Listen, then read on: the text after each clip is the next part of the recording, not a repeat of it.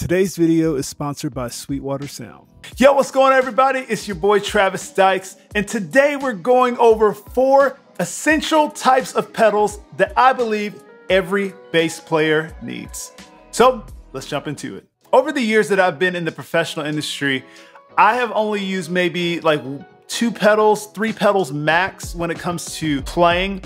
But nowadays, it has become like a thing where a lot of artists that I play with and a lot of artists that I come in contact with want different sounds so it doesn't just sound like a plain Jane type bass tone. Even if the bass tone is crispy, some people are just like, I want it to sound like a synth bass, or I want it to sound like this, or I want it to sound like guitar at this moment. So having versatility and creating tones and being able to capture that is very, very crucial when it comes to bass nowadays. So before we get into the pedals, I just wanna give you a little preface that all these pedals that I'm showing today are not ones I'm like, you have to get this one, you have to get this one. So if you don't like any of these particular pedals, just note that.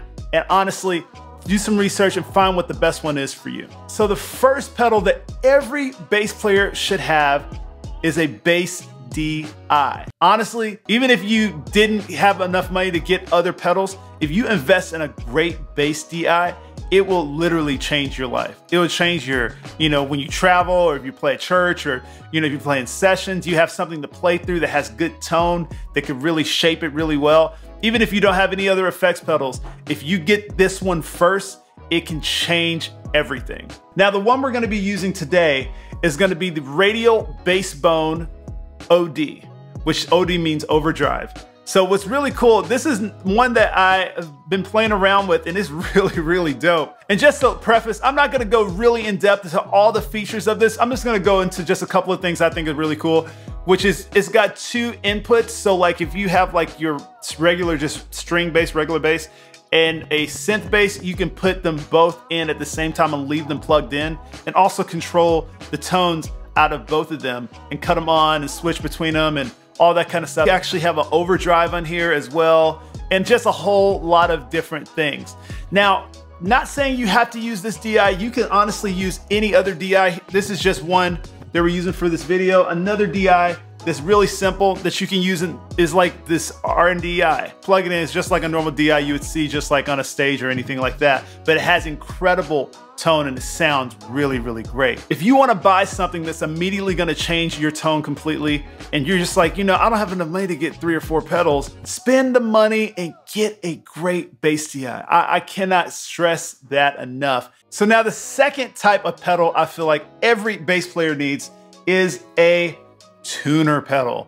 Now, today I'm looking at this D'Addario tuner pedal, which is really, really cool. I just picked it up not too long ago, and man, it's really cool. It's got a digital screen, which I'll show you later. Honestly, any tuner would work. It doesn't really necessarily have to be the D'Addario, but I just say this is a really great one. But having a tuner is so vital when it comes to playing live because a lot of these tuners, you click this button and it mutes the signal. So like if you have an active bass, if you leave it plugged in for long, it's gonna run that battery out that's in your bass.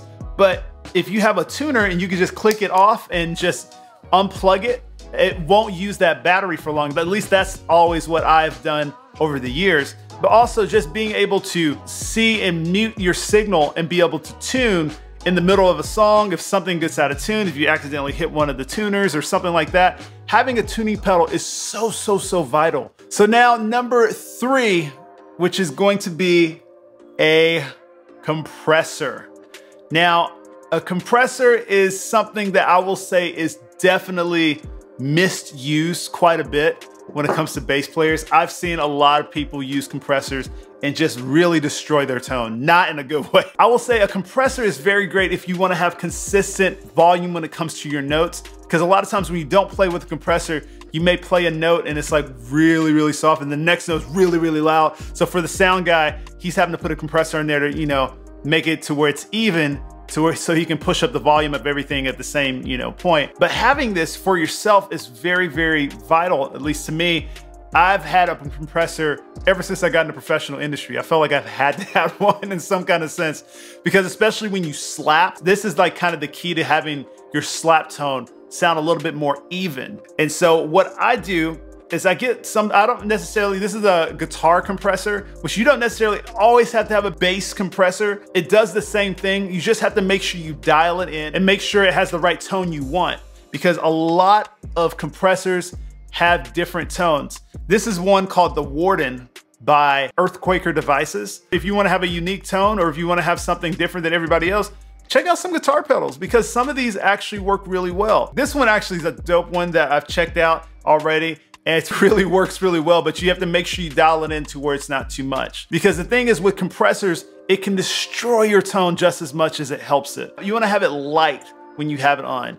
And if you have it light, it really kind of helps make your tone even, but also lets the sound guy, if he wants to put a compressor in there, or just something on there, it's not gonna hurt your tone or it's not gonna like hurt him being able to put something on it. So just note that when it comes to having a compressor. So now the fourth and last type of pedal that every bass player should have is a distortion pedal. Distortion. Depending on the style of music, this can be a life saver, especially if you're doing any type of recording or any type of like live situation. You're playing with a lot of different instruments. Distortion can really help. Now here's, this is another guitar distortion. Um, this is called the Al, I'm gonna mess this up so bad. Just Acapulco Gold. I'll probably just mess that up so bad, but it's by Earthquaker Devices as well. It is a pretty dummy proof you know, distortion pedal has just got one knob. Let's just say I wasn't expecting how gritty and how, you know, distorted it actually would be. And so just note, this is the reason why you check out guitar pedals and figure out which what right one for you.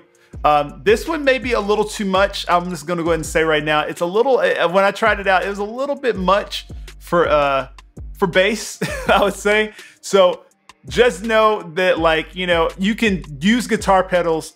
It's just, uh, just, you just have to try them out first. But now the reason why distortion is important is so if you're playing like rock or you're playing CCM, uh, which is contemporary Christian music, or if you're playing like, you know, anything that's like kind of has like a little bit of a Coldplay-ish vibe or stuff like that. Distortion is really great for bass because what it does is that if you're playing with other instruments, it kind of makes your bass poke out a little bit without really making the tone sound bad or sound like, ooh, that sounds like a guitar. No, like if you just use just a little bit, it kind of helps poke your bass through a mix, especially with other instruments. So now I learned this by working with a lot of audio guys and professional, you know, audio guys that they were just like, I just added a little distortion to your tone and it just really just made it sit well. And I was like, why? Why did you add distortion? and then he, they let me hear a recording of my bass with distortion.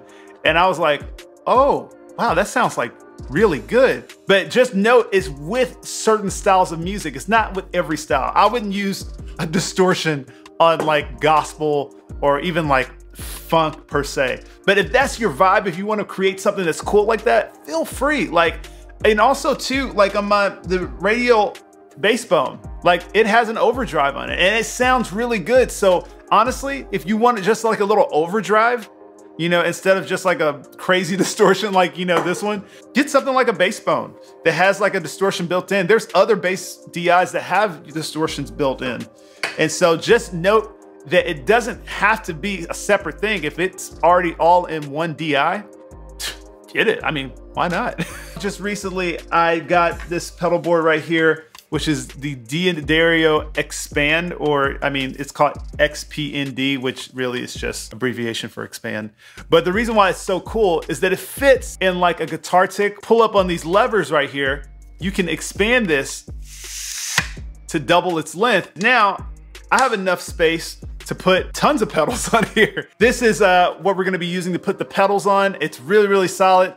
Uh, and all these different products and things that I'm using, if you wanna check them out, check out in the link in the description. I'll have the links to everything. So another really cool thing that we're gonna be using to power the pedals today is this thing called a 529i. It's a rechargeable power supply to power your pedals. So it's wireless, you don't have to plug it in and it powers just about any 9 volt pedal you plug into it or any that 500 milliamp or 1000 milliamp pedal, which is really, really sick. So that means that you can go on a stage and be able to go almost completely wireless with, with your power if there's not a lot of power on stage. And also, it could also charge your phone or anything going through a USB. So if you have doubts and you're like, I don't know if I want to use a, a, battery supply or, you know, rechargeable battery supply for my pedals, dude, this thing really lasts. I used it yesterday when I was playing uh, in a church service. Had it on the whole time.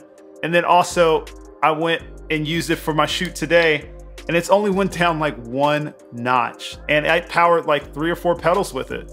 And it's, dude, it's sick. So make sure you go check it out. Link to this will be in the description below. But as far as what I do on uh, the road or when I'm like playing with pedals, this is like the, the routing that I've used for years. So the rule of thumb is that your tuner is the one that you start off with and your preamp DI or wherever's going directly to the system is at the end. And then any effects are in the middle. Now, when it comes to just kind of understanding like what is uh, the best order of your effects, that's totally dependent on you. And so like for me, I, I usually, this is something I've always done is put the distortion before the compression. This is just a tone I like. Sometimes people do it opposite way, but just figure out what you like and use that. And this is also how the everything's powered except for this pedal. Um, don't want to lie to you guys. This pedal uh, has 15 volt DC, which is not supported by this, which is actually an odd power source. So don't be, you know, alarmed or anything. But that is just is just one power cable, literally, for this entire board so far. Because this thing, usually, if, if this was just like a normal 9 volt pedal, then this would power it, and this whole thing would be like wireless except for just going to the system right here. So now let's check out how these pedals sound.